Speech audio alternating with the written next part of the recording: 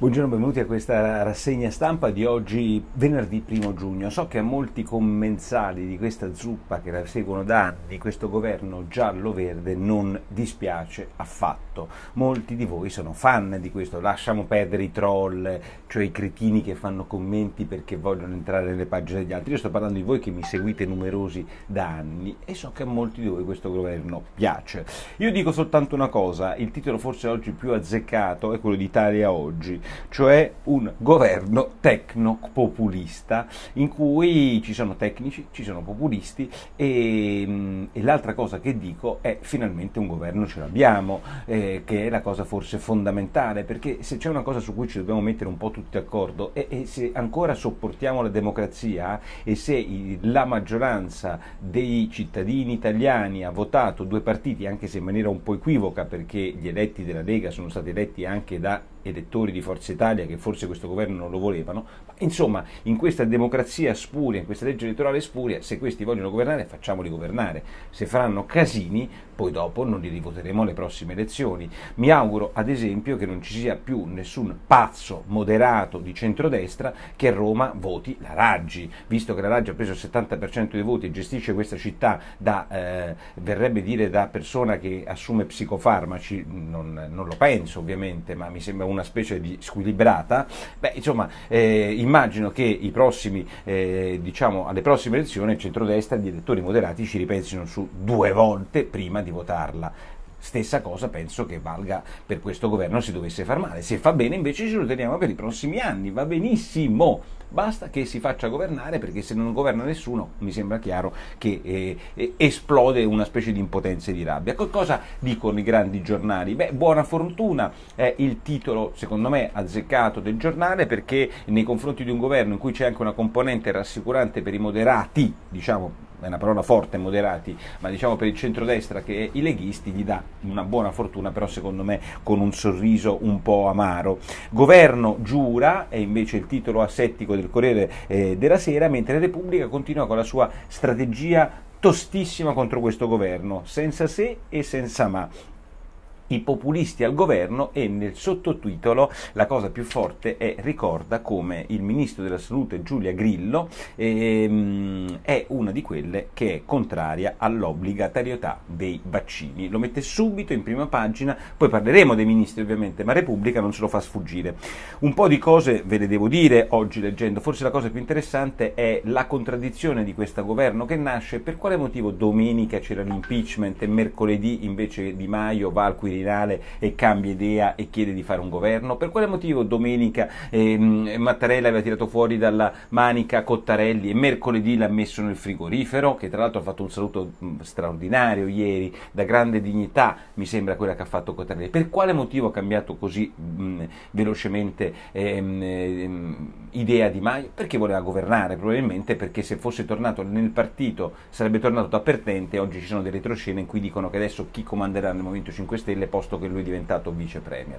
La seconda cosa è perché Salvini non aveva accettato di cambiare Savona al Ministero dell'Economia e dopo tre giorni cambia Savona al Ministero dell'Economia. Ragazzi, queste sono delle cose che uno banalmente si può chiedere, poi adesso governerete, governerete bene, ma qualcuno forse potrà dire passiamo dalla trasparenza e dello streaming da duri e puri perché Savona rappresenta un simbolo, cosa che dice a me in trasmissione e poi dopo lo mette alle politiche comunitarie, mettendo Tria, un pragmatico moderato di cui parleremo tra poco, al Ministero dell'Economia. Cosa cambia? Un retroscena del Corriere della Sera dice cambia il fatto che Di Maio si è fatto fare un sondaggio e dice che lui aveva il 41-42% di voti, Movimento 5 Stelle da Pagnoncelli, che Dio ce la mandi buona, e quindi che sarebbe per lui andato a votare subito il 29 luglio, cosa che invece Salvini, sia per motivi geografici, sia perché non avrebbe neanche fatto un atto decente di sensazionalismo, di diciamo, di sicurezza, Salvini non se la sentiva di evitare il 29 luglio e su quello sarebbe caduto. Questo è il retroscena del Corriere della Sera. Ma ce ne sono tante cose strane per ora come, su come siamo partiti. È l'atteggiamento della Meloni. La Meloni dice mai col Movimento 5 Stelle e poi diventava un, all'interno ehm,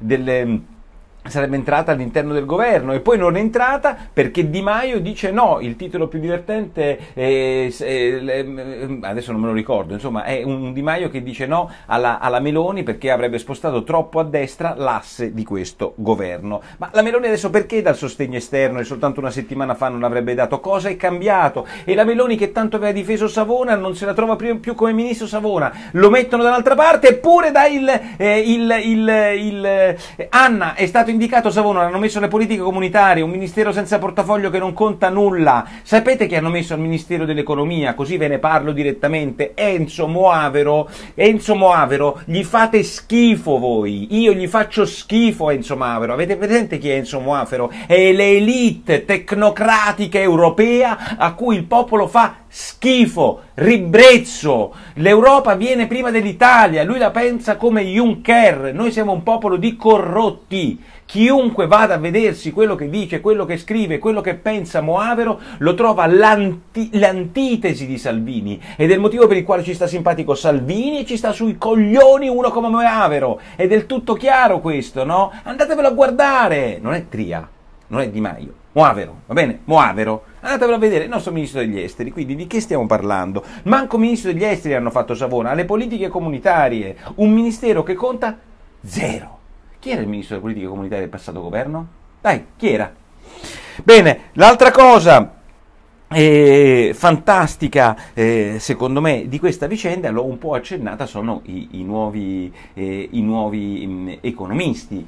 Beh, insomma, intanto questo Tria oggi lo ricorda bene il foglio perché io Tria lo leggevo sempre sul foglio perché aveva una rubrica i due economisti con Felli ed era una rubrica di due economisti pragmatici, due economisti senza grilli per, le, per, per la testa, eh, li chiamano neokenesiani, ma non so se valga più l'aggettivo come dice ehm, eh, eh, o il neo, cioè non riesco a capire se sono eh, più vale il neo dei keynesiani nella loro definizione, come dice giustamente il foglio di oggi che li conosce bene. Beh, insomma, si tratta tratta di uno che secondo alcuni addirittura è un amicone di Brunetta, secondo il Foglio, secondo scusatemi il Fatto e Repubblica avrebbe scritto il programma di Forza Italia, cosa chiaramente falsa perché non l'ha scritto Tria, ma insomma si tratta di un pragmatico molto vicino a Berlusconi, tant'è che qualcuno oggi dice che Berlusconi sarebbe contento, ahimè mi viene da piangere per Moavero e per Tria. Va bene Tria, ma l'idea che Berlusconi sia compiaciuto del fatto che ci sia Moavero ministro degli esteri, vabbè, diciamo che tanto il ministero degli esteri conta quanto il 2 di picche in questo paese, perché la politica estera la fa la Mogherini, chiaro, la politica estera la fa la Mogherini, grande intuizione di quella genialata che fece eh, Renzi.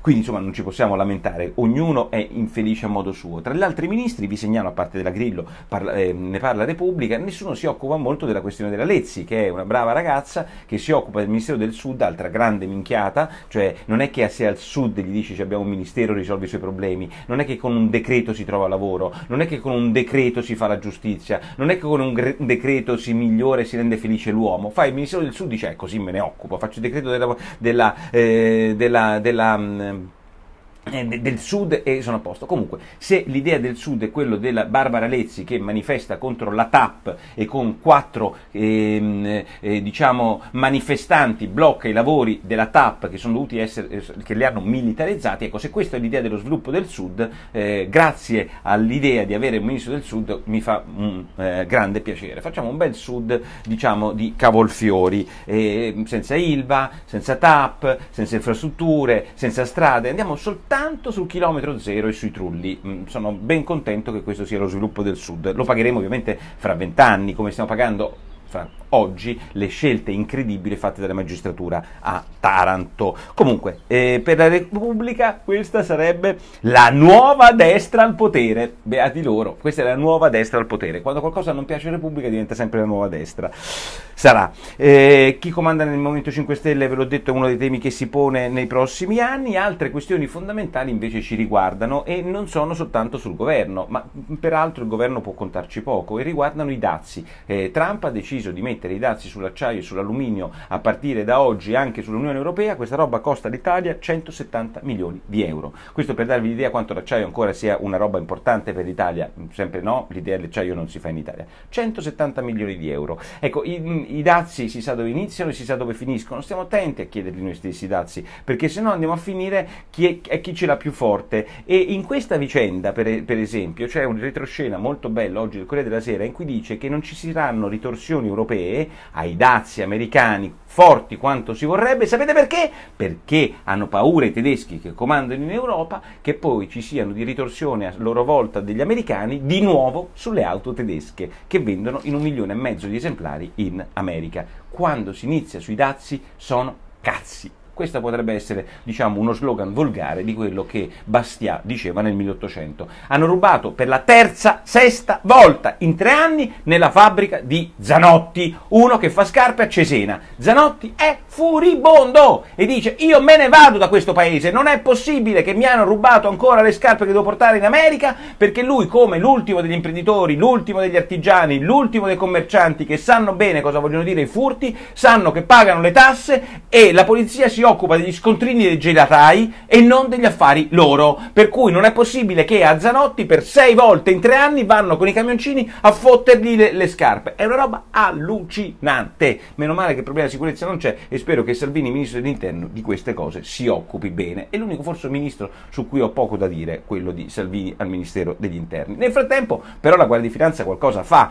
come nel caso di Facebook, ha beccato 300 milioni, secondo lei, di, alla fine di un'istruttoria di mh, mm, ehm, redditi non dichiarati in Italia. Ovviamente la cosa è più complessa, bisogna vedere effettivamente eh, quante royalties Facebook Italia parla- ha pagato alle sue consociate in Irlanda, le Cayman, non so dove cavolo le ha, bisogna stabilire il processo parte, ma insomma questo è un tema, cioè capire come localizzare in Italia i redditi prodotti dal fatturato che viene fatto con persone italiane. Sacrosanto, su questo deve lavorare la finanza e fa bene a farlo. Juncker ubriaco dice che gli italiani sono dei corrotti, mm, direi che lui dovrebbe pensare alla sua corruzione fisica. L'ultima cosa è un'intervista a Lucy Liu. Voi direte chi è Lucy Liu? Ve lo dico io chi è. È quella straordinaria ragazza dall'area asiatica, la in, in, che sapete subito, non solo dal cognome e dal nome, ma è un'asiatica con gli occhi asiatici, bellissima, che vi ricorderete in Kill Bill che fa quello straordinario duello alla fine sul, eh, sulla neve e poi ci sono tutte quelle goccioline di sangue che solo Kill Bill poteva, solo Tarantino poteva immaginare alla fine di quel film straordinario. È la donna delle arti marziali, è la donna di Tarantino, è la donna che ha fatto tantissimi film, è la donna che faceva la capa della mafia appunto in Kill Bill e che taglia una testa a una riunione di mafiosi eh, di Yazuka in Giappone. Insomma, è un personaggio straordinario non solo di Tarantino ma della cinematografia hollywoodiana. Tutto questo per dirvi una cosa, che in un'intervista oggi gli dicono ma lei si è mai sentita discriminata? E lei risponde sì, mi sono sentita discriminata. Sapete perché? Ho subito discriminazioni, sei troppo asiatica, mi è stato detto. E questa è una discriminazione. Sei troppo asiatica. Ma porca puttana! Ti prendono perché sei asiatica, perché sei la capa della, della Yazuka, ti prendono, ma siamo impazziti! Cioè viene considerata discriminazione una che ha gli occhi a mandorla e che ha l'aria asiatica e che si fa chiamare Liu Si Liu e che conosce le arti marziali si siede discriminata perché è asiatica, ma è una roba fantastica. Arriveremo alla parità di genere per cui metteremo le titte finte ai eh, culturisti perché se no si possono sentire discriminati nei ruoli maschili e non femminili all'interno dei film ehm, americani. Una roba da impazzire. Intervista sua a Corriere della Sera. Vi do un grande abbraccio. Yazuka, come cacchio? Yakuzza, Yakuzza, Yazuka, Yakuzza, scusami.